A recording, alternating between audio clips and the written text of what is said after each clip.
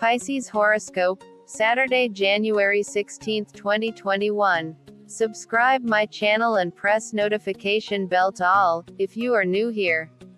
It may be a day of introspection and re-evaluation of your principles. You may question yourself and your partner for the past decisions. Still you will follow a very supportive approach towards your partner and you expect the same in return. There is absolutely no harm in adopting new ideologies in life when the former ones do not seem to be working well anymore. Pisces Health and Wellness Horoscope. Minor but persistent health problems are going to create a lot of stress throughout the day.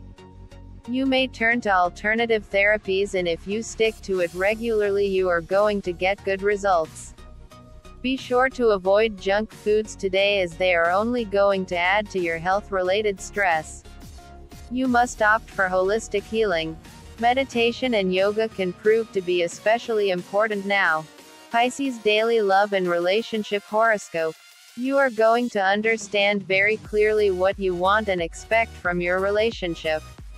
You may also come to realize that your goals are not coinciding with that of your partner. However, before you take any drastic step, you should try to sort it out by dialogue. Your persuasive powers are at their peak now. So, make good use of them. Pisces Career and Money Horoscope. You are confident and positive today. Today is a good day for cracking any interview or any deal with the client. You will also gain a good margin. You might get stuck up in some trivial issue in the latter half of the day. Postpone your plans of recreation or entertainment for tomorrow. Take help from your colleague today.